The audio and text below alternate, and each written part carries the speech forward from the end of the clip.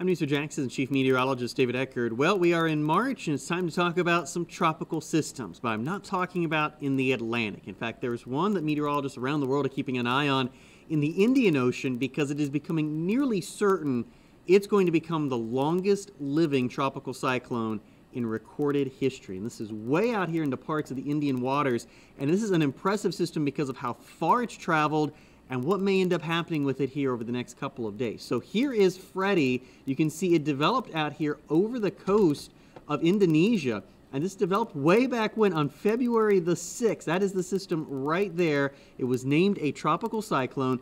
And then it continued to cruise westward across the open waters of the Indian Ocean, ended up making a couple of landfalls near Africa, and on March the 7th, it is still around near Madagascar. Just a remarkable run. It's been around for 30 straight days, and again, it will likely become the longest living tropical cyclone. Freddy's already made two landfalls in Africa. The first landfall was on the island of Madagascar. Uh, that occurred earlier in, or very early in March, and that was a pretty significant strike. We did have some deaths with that along the east coast of Madagascar. Then it proceeded to make a second landfall here on the east coast of Mozambique. So kind of get your bearings right here. This is the east coast of Africa. South Africa would be at the very bottom of your screen. So again, along eastern sections of Africa, we had a landfall in southern areas of Mozambique.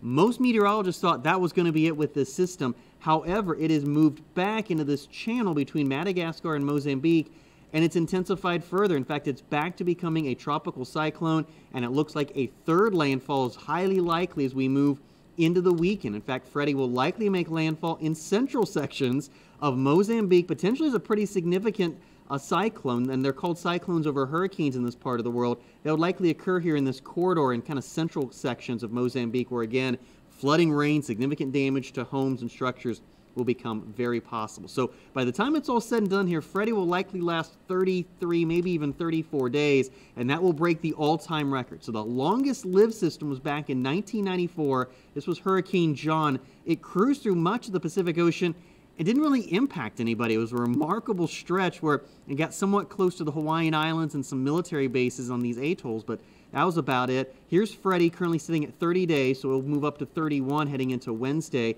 The other two longest lived storms is an 1899 storm that impacted Puerto Rico.